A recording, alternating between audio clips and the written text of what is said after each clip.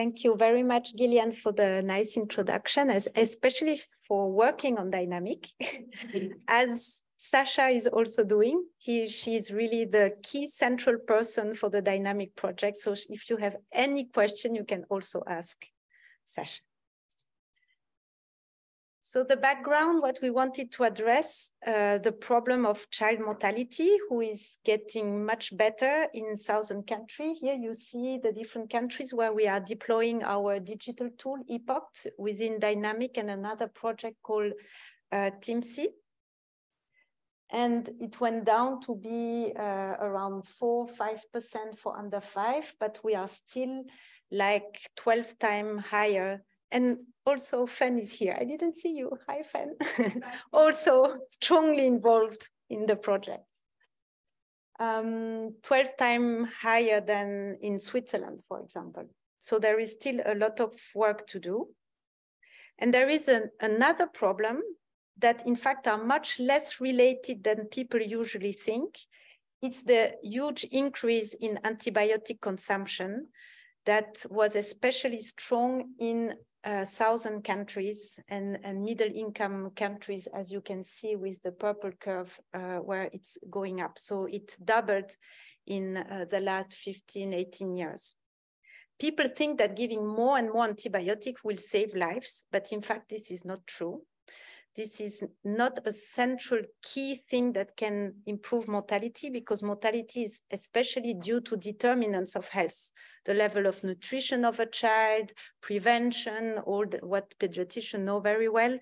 And in our countries, mortality due in uh, our countries, I mean, northern countries, the it's mainly hygiene who, who improved mortality.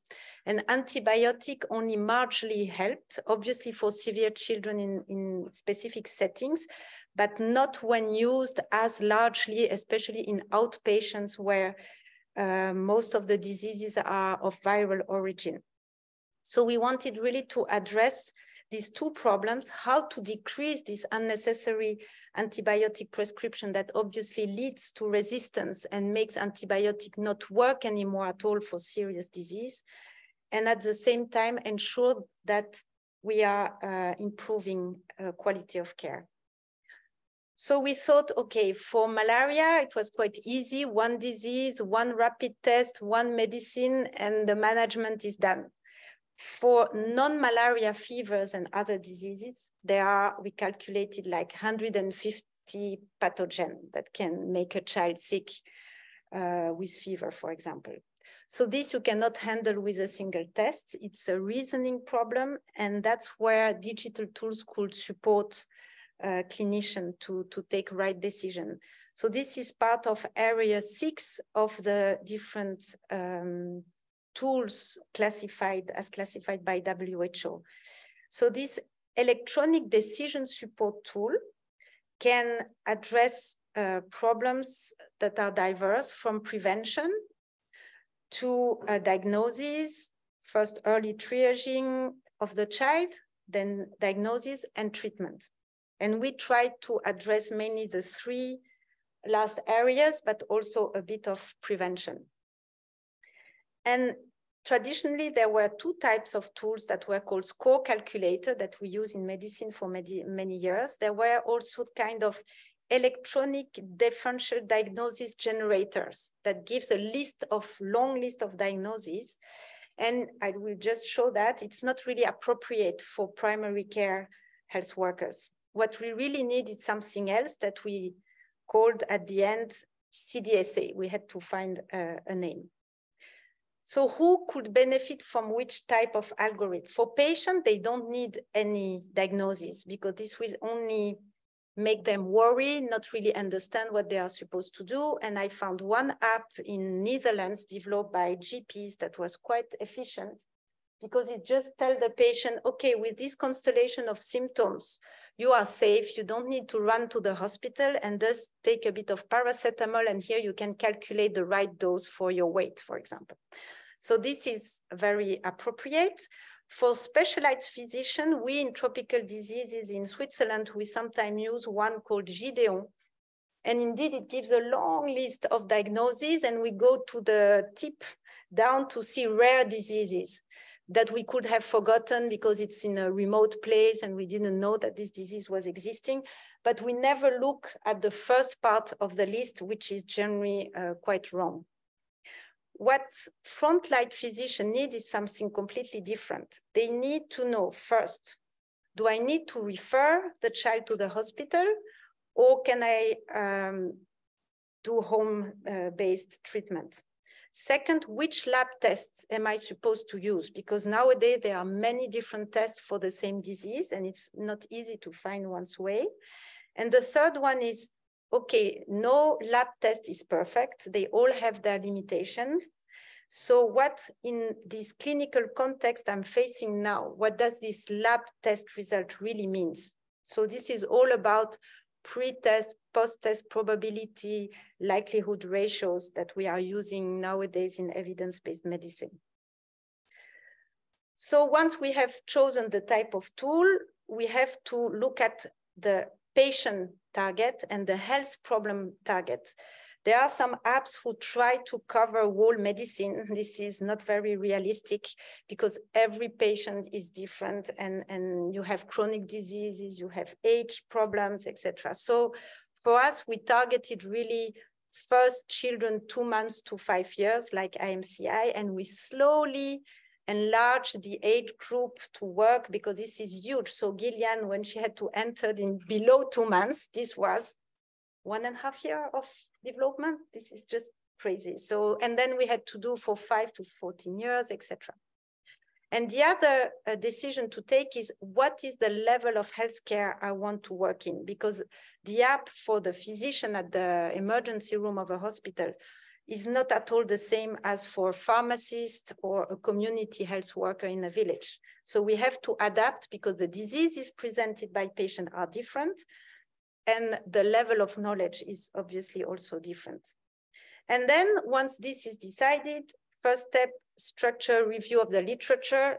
This is enormous work. This was our first generation algorithm. This was already 12,000 articles to go through to at the end get very disappointed because in medicine, the level of evidence is very low. You have case series, which does not really help. So we had to do our own studies we thought, okay, nobody knows what is the distribution of diseases in a febrile child, for example. We don't even know that for Switzerland, no clue. So we did it for Tanzania, uh, where we included more than 1,000 children, and we ended up discovering what any pediatrician knows, in fact, that half of them had a respiratory infection, mostly upper respiratory tract infection. So this is the same as in Switzerland, some urinary tract infection in the youngest one, etc. And some diseases specific, obviously, to southern country like malaria or typhoid fever. But was, what was really important from this study is that most of these patients had clearly a viral disease, which means no need to prescribe an antibiotic. Next step was to look at the clinical predictors of each disease. Some diseases, we have very good tests like malaria. So here we don't really need them. We have a rapid test. But for typhoid fever, the rapid test is five Swiss francs. This is much too expensive for the South. So we look at what clinical predictors could help to know if the child has a typhoid fever. Not very easy other possibility to find some new biomarkers because with 150 different pathogens, you will not do lab tests for each pathogen. You will rather find a biomarker to differentiate a viral from a bacterial disease. This is extremely difficult. And for adults, it works a bit better. This was some new markers for mortality in adults. For children, it's much more fuzzy. And here for radiological pneumonia, we could find one that was called CHI3L1, but was not much better at the end of the day than CRP. And CRP, uh, C-reactive protein, exist as a rapid test. So we thought, okay, that could be a possibility to try differentiate between viral and, and bacterial disease and guide antibiotic prescription. So once we have as expert done all that work, we still need to take into account and, and base ourselves on national guidelines. And they are different in each country. So for Tanzania, but we did the same for Rwanda, for Senegal, for Kenya, for India. uh, we went through all guidelines related to child care and they contradict itself. So one guideline say do A and the other guideline say do B. So you have to take then expert from the country to agree, okay, we agree the government decides that a child with this constellation we want them to be treated that way. And we also included the perspective of the, of the field. That was extremely important because healthcare worker at frontline, they have a lot of feedback, obviously. It's like you did to know, okay, this we don't like in the app, this we don't understand, this wording is, is not clear, etc. So this was a lot of work to improve and adapt uh, the tool. And from there, we are finally able to design, to write on paper, no, electronically now, the algorithm. And, and here we, we tested different ways because they become so complex. They are almost three dimensional. They interact to each other. It was not easy to find the best way to, to organize them especially to have our IT colleagues to understand what we want to do because we speak completely different languages. Um, and I think the strength of our team is that you have meetings every week between the clinical team and the IT team. So you are really working hand in hand. And sometimes I have to, you know, make when you disagree, I have to decide. I'm the one to say, okay, today we give right to the IT people. We cannot do that. This is not reasonable. And other days is, no, clinicians are right. This, we really need it. You have to find a way to solve that. So it's really this that make us able also to develop very quickly during the COVID epidemic, some simple tool to guide uh, the population and, and health worker on who to test for COVID and who to vaccinate for COVID. So this is how it looks like, a tablet with the algorithm where clinicians enter their data and we have five point of care tests to support diagnosis, not more. This is already more than what they use uh, usually. So the oximeter and the hemoglobinometer, because these are strong predictors of severity of disease and reason for referring the child to hospital, and malaria, CRP, and HIV uh, rapid tests. And sometimes, according to some countries or places, we, we have a urine dipstick or, or a few other tests. So the, at the end, the algorithm will give a recommendation regarding treatment, antibiotic or not, and referral. This is not the end of the story because exactly like for vaccines, for uh, tests, we have to validate them. And we imagine a sort of phases exactly like vaccine, phase one, phase two, phase three. So for digital tools, phase one will be all what you do in the lab, IT lab to make it work. And then phase two is a clinical safety and efficacy trial. This is what we had done before in controlled condition, individualized um, uh, randomization at individual level. And then we could move to the dynamic project, which is rather effectiveness, impact, costs. Uh, how you do you adapt the algorithm with the data? How do you take into account the clinical and epidemiological context? And it looks then in practice like that. So let's try the small movie.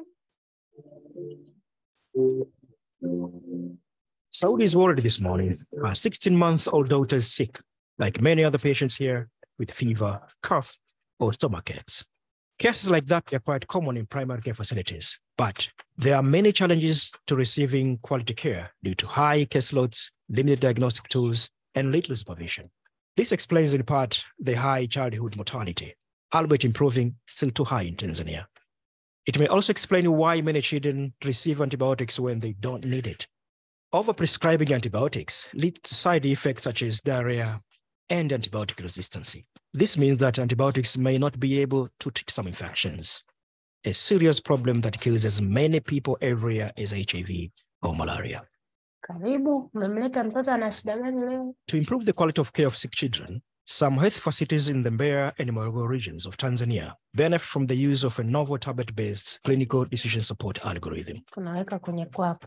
This application, called EPOCT Plus, supports healthcare workers to systematically ask the appropriate questions and perform relevant physical exams, tests, and assessments in order to help reach the appropriate diagnosis and treatment plan.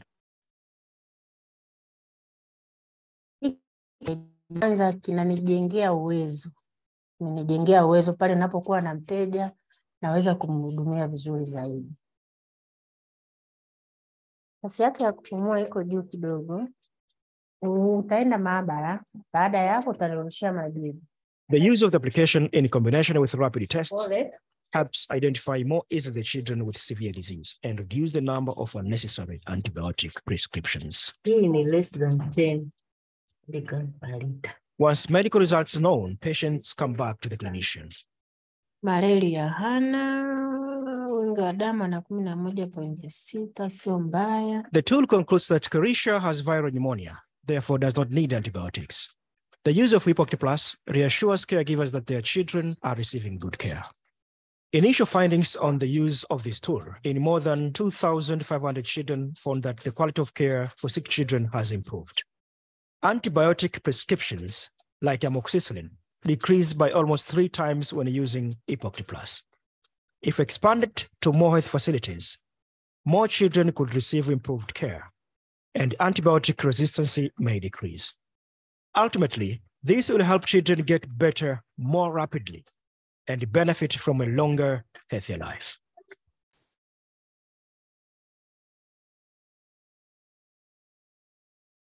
So to assess the impact of the, the tool that we are deploying, we did a cluster randomized control trial where we took 40 health facilities in two different regions of Tanzania, including children from day one after birth to 15 years of age during um, one year.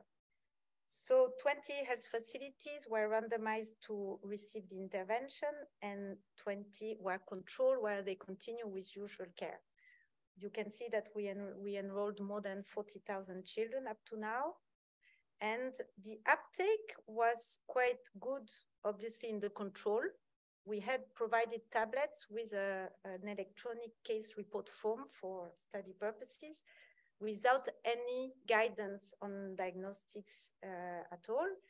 And in the intervention arm, the same, but with the whole uh, app to, to guide them during consultation. And here you see the uptake gets a bit down because it's a lot of work. It takes time to do a consultation. The problem is that originally health workers have ended by spending like three minutes per patient because there is overload of patient in some places or because they don't really know what to assess in the child. And here we need at least 10 to 12 minutes per child, which is very reasonable when you think that it's a child in what that could die of, of a severe disease and really needs uh, acute assessment accurate assessment. So uh, here we have still room for improvement with 76% uh, of uptake, but it's already quite good. And our core primary outcomes are antibiotic prescription, where we wanted to improve the situation, obviously. And we also look to be sure that our app is safe. We looked at clinical cure at day seven, and this is a non-inferiority uh, analysis because we do not expect improvement at outpatient level because death and severe disease are rather rare events.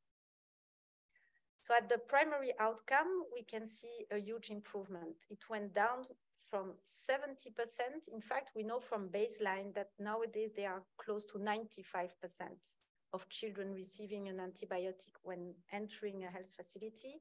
So there was also some influence of us being around, explaining that prescribing too many antibiotics is not good. So you have a small effect and you are at 70% in control facilities. And in the intervention, three times less antibiotics are prescribed. So a 50%, uh, almost 50% difference. So this is obviously very interesting for governments also, even if they are, don't know exactly about uh, quality of care, just seeing how much money they could save by uh, using less medicine is obviously a, a, strong incentive. Regarding the, the clinical outcomes at day seven, so the primary outcome of clinical failure at day seven, you see that we have exactly the same, so there is no significant difference. So we could reach non-inferiority. We are thus safe. For death, you see it's extremely rare among all these patients. And here we don't see uh, any different neither, that we did not have the power to look at death. What is interesting is that we see some reduction in unplanned reattendance visit. And I think this is really positive because it means probably the initial management was of better quality. We have also indicators around quality of care that clearly show that they will measure weight much more often. They will look at MUAC and many things that improves quality of care and probably makes parents come uh, less often during the episode. And we did not see, as some people were fearing, that without giving antibiotics at day zero, they would run to the first pharmacy, parents, to buy an antibiotic. And this was clearly not the case. 7% in both arms were still purchasing an antibiotic or other medication after the initial consultation. So all this data, obviously sent by health centers uh, from the tablet, can go on, on our different servers, tools, etc. Especially on, a, on a, for now, it's a server at the research institutions in the countries, but later on, it's aimed at being at the government level. And we also try to enhance the system by uh, providing mentoring to clinicians because we can show them their own data and they can see if they perform well compared to other clinicians. We do that really in a positive way, not as being, you know, policemen checking what they do on the contrary, but this we have to be careful. And we also added some targeted microbiological investigation looking at patterns of data that would suggest an epidemic and decide, okay, now we have to investigate why suddenly do we see so many children with diarrhea? Could there be a cholera epidemic around that has not been uh, picked up by the government so that we can give them reports and, and dashboards to follow uh, and take decision. Challenges, we have many for going at scale because this is the aim. We have a five-year project that will finish in about one year. And what do we do? Obviously, clinicians are very excited, researchers are very excited, governments also sometimes, most of the time. But they probably are more aware than us of the big challenges we have in front of us. First, it's true that it's uh, quite heavy in terms of technology and, and high level of knowledge to create an algorithm as a clinician. It's not all clinicians who know to do that. So we have really to transfer knowledge to the South. We have to share with them. That's what we try to do from the beginning. But still, we, we have a lot of work in front of us. Government need to have a specialized team at the MOH to be able to manage themselves this algorithm and tool on the long term. The tool is not resolving all problems. It's, it has to be embedded within a full package of intervention like training of healthcare worker, because if you put, you know, with machine learning, wrong in, wrong out, that means if they don't know how to examine a child, whatever data they can enter, the diagnosis will be wrong. So there is a need to enhance clinical, clinical skills, mentoring, supporting material maintenance, and this has to be done by the districts and the ministries of health. And one other problem we face is nowadays they have so many digital tools on their desk. They're, they have one for HIV, one for another vertical pro program. They have the electronic record system. They have our tool. They have a vaccination tool. We have to merge all this because they get completely crazy, these poor people, and we need to reprogram our tools within the electronic medical record system. But each country has a different system. So we have to find IT people, and IT people are not so many around, uh, to do all the reprogramming. We have also to purchase uh, some uh, products, but these are few. And what Tanzania said, anyway, we cannot go further if not every health facility and every school, in fact, has access first to electricity, to network, and I would also add to water. Sometimes we work in places where we have they have tools but no water. So the power supply was really a challenge. As soon as it stops, everything goes wrong. And this is what also um, worries me is that we have many challenges, access to energy and material to create our tool, to support the servers, and this has a huge environmental impact. Uh, you know that the, the share of um, gas emission will uh, be around 10% of all emission will be due to IT. So we could in fact harm uh, countries and harm uh, child health by deploying a lot of heavy material that in fact will disturb even further the climate. So we looked at the environmental impact of our intervention to see if we save more life than we harm by the environmental impact. So we did what we call a life cycle analysis of our whole intervention. This is the scope, looking at really what we deployed, not for research purposes, but really in within the health system. And this is what we found was unexpectedly, it was not the digital tools where had worst uh, level of uh, CO2 emissions. It's in fact medical because it's rapid test, it's uh, medicine, especially that are prescribed that have the largest impact of soil pollution, water pollution, CO2 emission, etc. And that's why we, by avoiding all the antibiotics prescription, we improved the, the impact and the net result is that our environmental impact is limited. Limited because we didn't count um, machine learning analysis. And machine learning, you can see it explode completely emission. So we should use it only when useful. You can see here that the prediction of disease did not improve, in fact, with machine learning. We should not use it for this purpose, maybe other purposes. And this is also the impact on human health through the environment and ecosystems.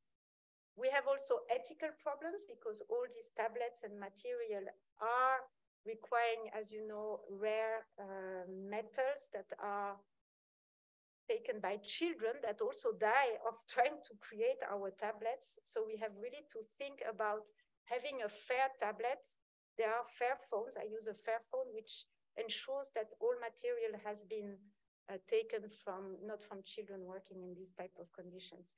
And we have not, we should not store data on long term. We should take out what we don't use anymore. Because at the end, we really have this ethical problem. Digital health is a limited resources, like all resources. We will not be able to continue in the future to go 4G, 5G, whatever. This will not be possible. So we have to choose the priorities. Is it us doing jogging in the north or saving life in the south?